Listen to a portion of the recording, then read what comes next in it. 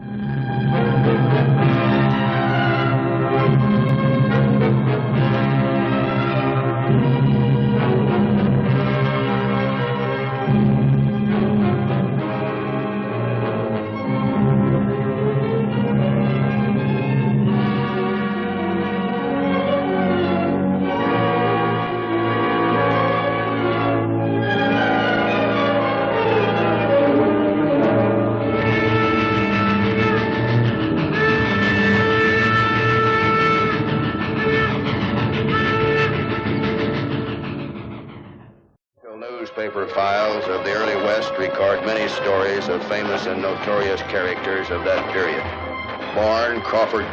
Goldsby, Cherokee Bill, a college bred half breed, left a bloody trail of murder and banditry throughout the Oklahoma Territory during the 1890s. The most hated and feared outlaw of that period.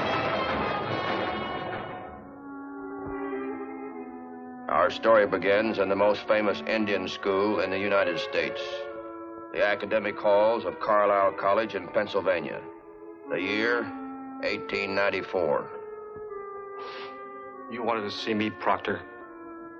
Bill, you're a disgrace to Carlisle College and the Cherokee Nation. Look at this record. February 10th, caught opening a student's locker. April 6th, starting a class riot. May 12th, insubordination to your instructor. May 15th, fighting with a student on the athletic field. Cheating, lying, fighting, stealing. Carlisle has no room for you. Bill! No! Bill, let me go! Stop it, Bill! Bill, no! Let me go! Bill!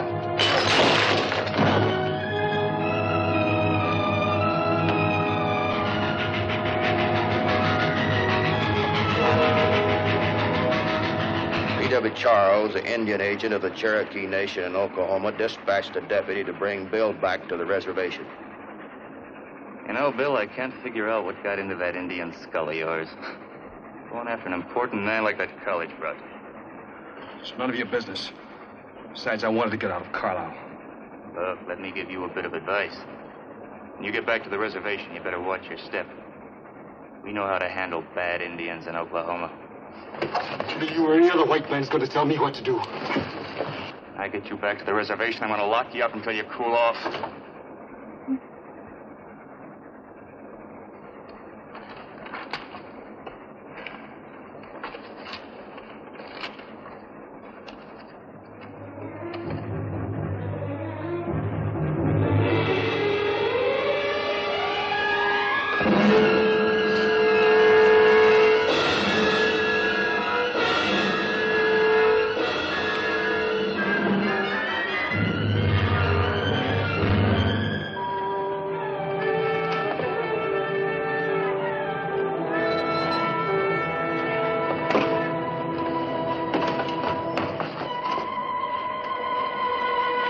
My partner, Margaret Jones, was on the train when the deputy was stabbed. Anything that happens on a train is my business, especially murder. My name's Matt Clark, railroad detective.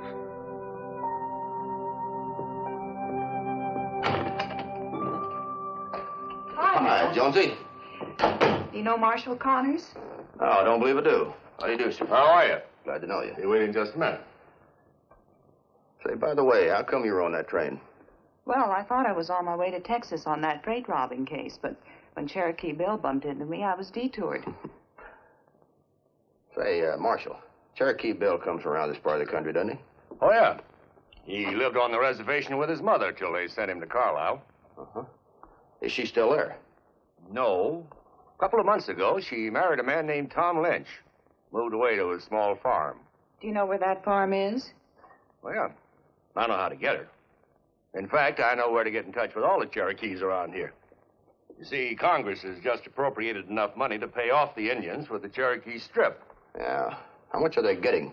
About $300 apiece. Of course, to an Indian, that's a lot of money. When do they get paid? In about two or three weeks. Then they'll have to move out of the Cherokee Strip, which will be open for homesteading. You know, it might be a good idea if we go out and have a little talk with Cherokee Bill's mother. Yeah, I was out there once, but there was nobody around. Maybe we'll have better luck this time.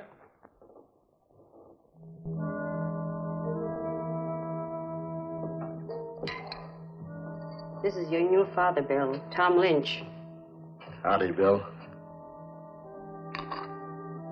Better go outside and keep your eyes open for the law.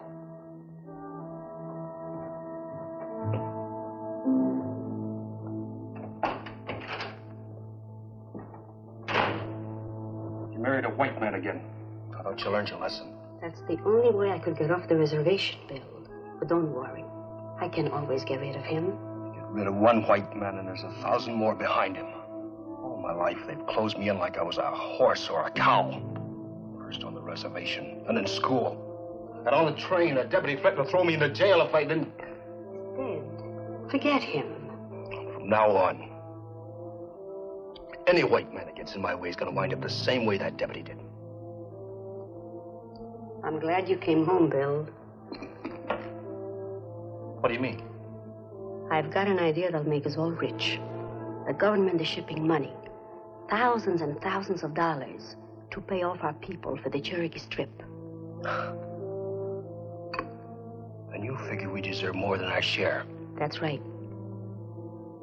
Those wagons will be guarded by cavalry. It's going to be tough. Not if you get enough men to help you. Jim Cook has the biggest gang in Oklahoma. I have already talked to him. Huh? He's very interested for a large cut. Maybe he'll want too big a cut. That's something I'm sure you can talk him out of. Maybe I could. There's some riders coming up the road. Could be the marshal. Get to the barn. There's a team waiting for you. I'll show him. Come on.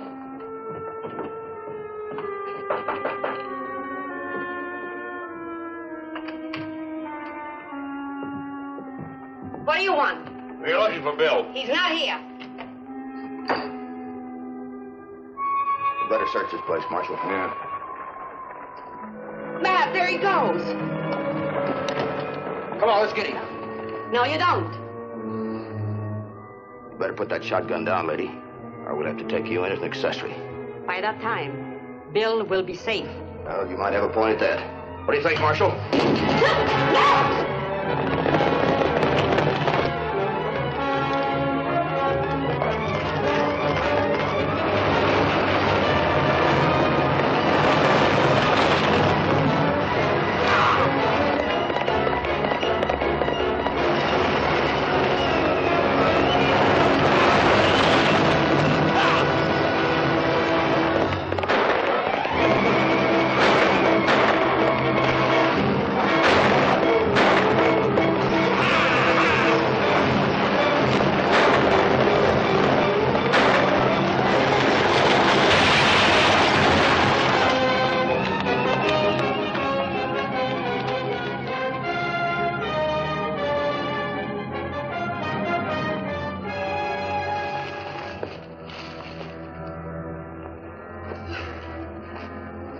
right, get up.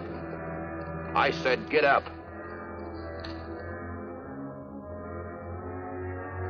You're all through, Bill. I'm taking you back to town to stand trial for murder.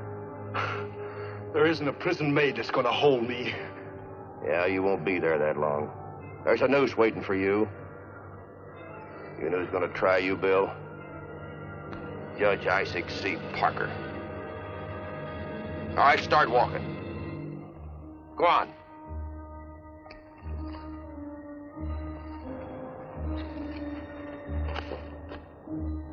At Fort Smith, Arkansas, April the 16th, 1895, the famous hanging judge of the West, Isaac C. Parker, set in judgment on Cherokee Bill, who was being tried for murder.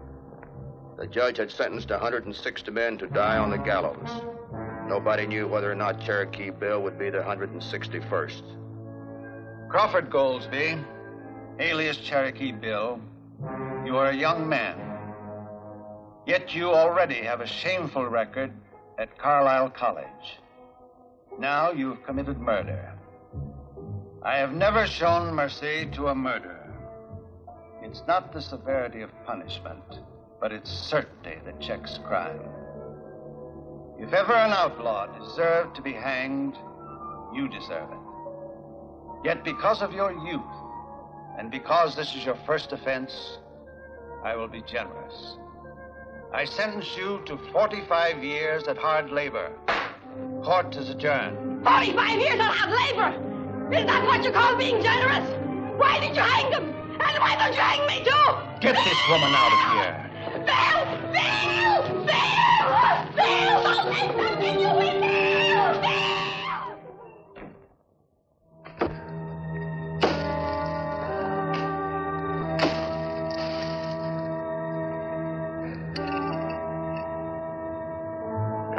Kind Bill.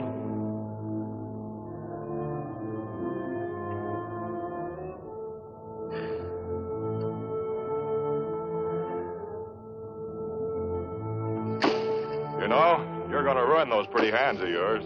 Get blisters on them. After you've done that for 45 years, there won't be a tree left in Oklahoma.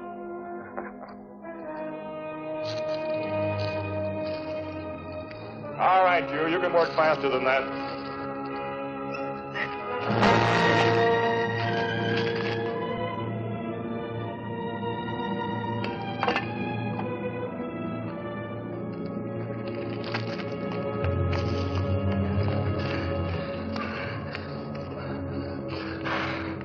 I'm Cherokee Bill. I just broke out of prison camp. Take me to Jim Cook.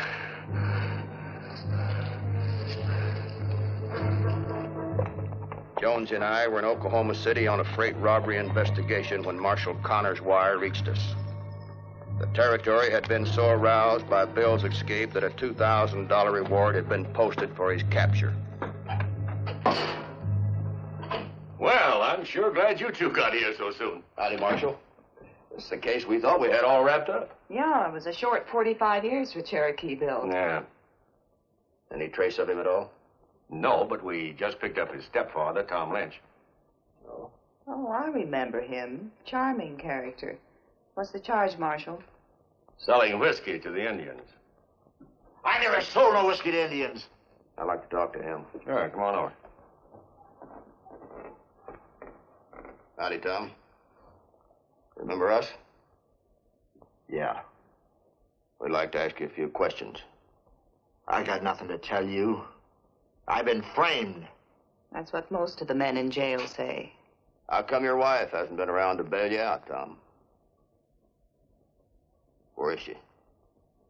All I know is she left the house early this morning. She didn't say when she's coming back. Maybe she's not coming back. She better not run out on me. Why not? That's my business. All right, if you don't want to talk, we'll put you up before Judge Parker. You might find yourself taking Cherokee Bill's place on the labor gang. Then, on the other hand, Mr. Lynch, there's a $2,000 reward out for Bill's capture. Do you know what you could do with $2,000, Tom? Well, you could buy yourself a lot of real fancy clothes and live like a gentleman. Judge Parker might let you off if you talk. When'll I get the reward? Just as soon as we lay our hands on Bill. Will you let me out of here as soon as I talk? Sure. As soon as we capture Bill, we'll notify you. You can come to the office and we'll give you the reward. $2,000 cash. Two thousand dollars.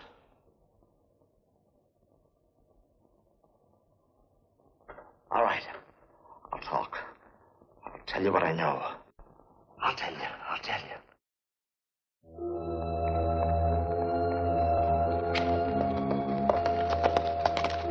Doing around here? I told you I'd send for you when we got the money. I came to warn you, Bill. The marshal picked up Lynch. They would have gotten me too, but I saw him coming, and I hid in the cornfield. I don't care what happens to Lynch. You don't know Lynch like I do. He'll talk. Well, that's for marrying a white man. I left him for good, Bill.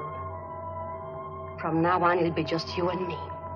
After you get the money, I'll meet you in Juarez. But right now, you better get going. It's too late now. Look. Jim!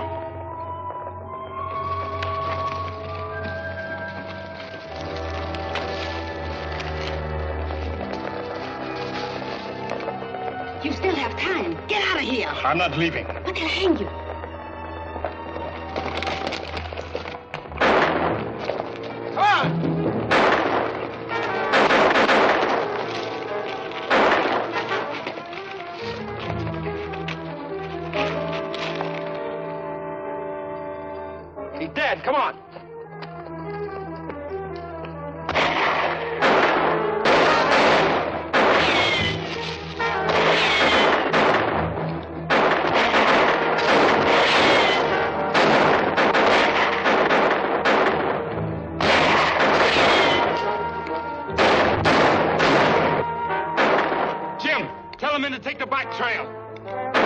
One by one.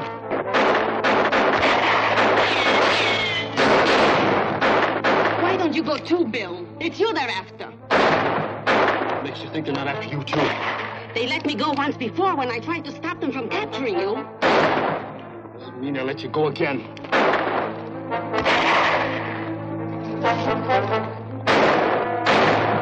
Please, Bill, go with Jim Cook's men. Please. Not yet.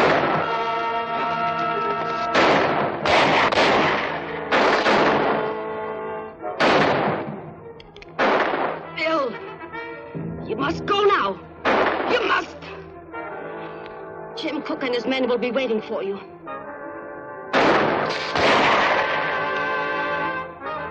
But you. I'll be all right. They don't want me. They want you. Now hurry. Go.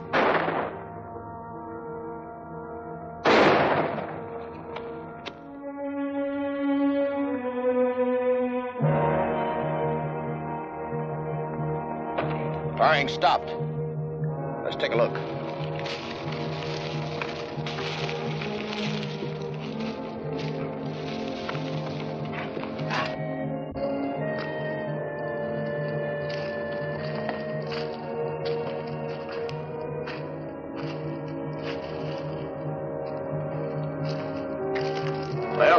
Pulled that old Indian trick on us. Sneaked out one by one. Too bad she had to have a son like Bill. Yeah. Come on.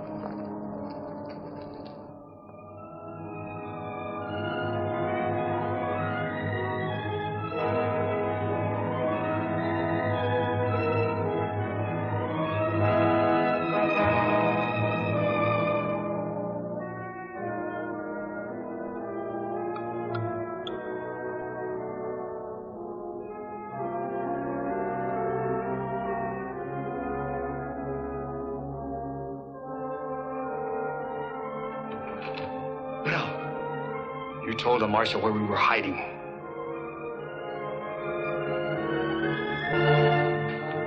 No. No, Bill, I did not.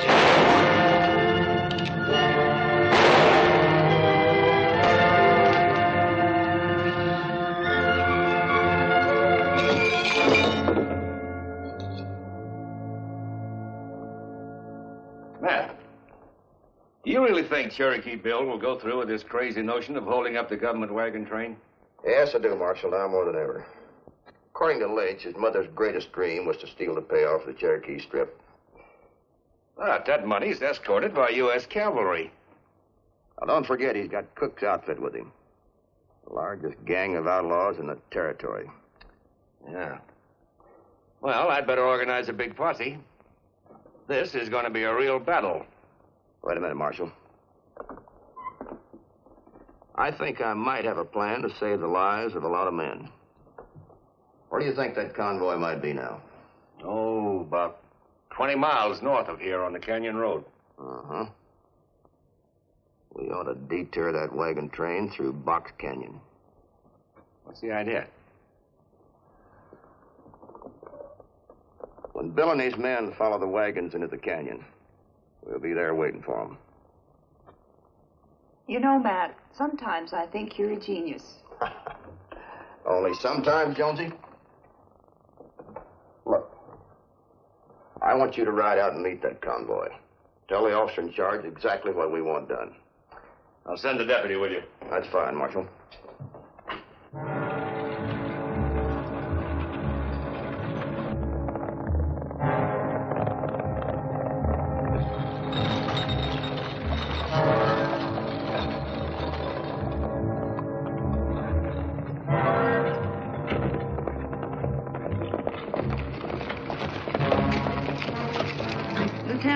Margaret Jones, railroad detective.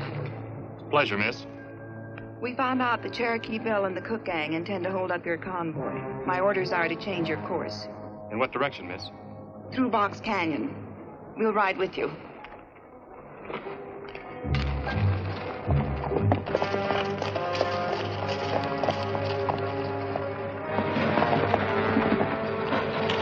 They're changing their route. Going through Box Canyon. That'll make it easy.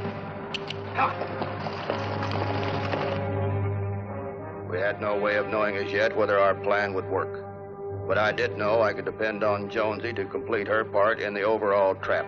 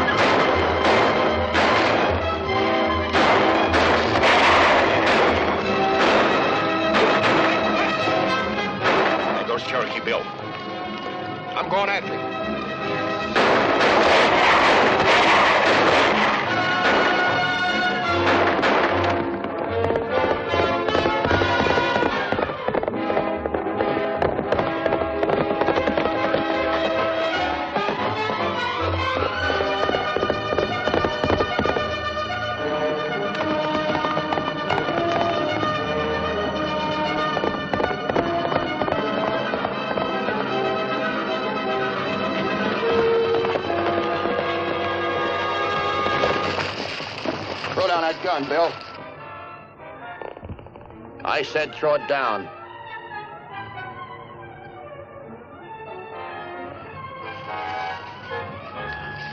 All right, get going. Go on.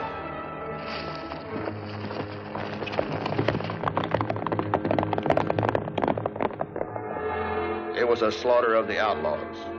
Very few of Cherokee Bill's gang escaped alive. Jim Cook was killed, and the rest of his men were either wounded, captured, or killed. Crawford Goldsby, alias Cherokee Bill.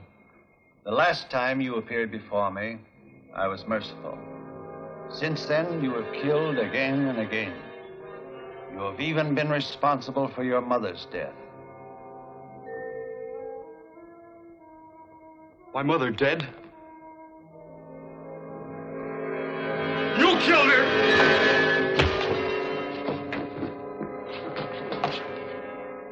Have never let a guilty man escape, nor an innocent man be punished.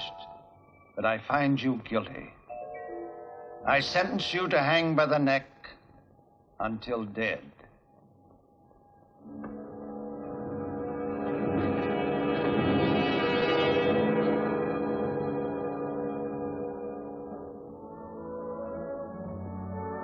Cherokee Bill, have you anything to say before you die? Before I die.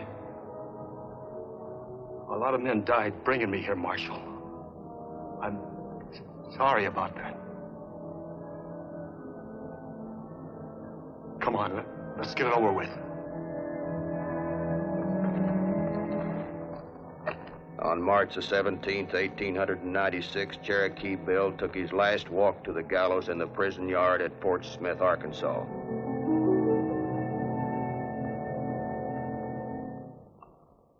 Well, Matt, this time I'll guarantee that Cherokee Bill won't bring you detectives back again.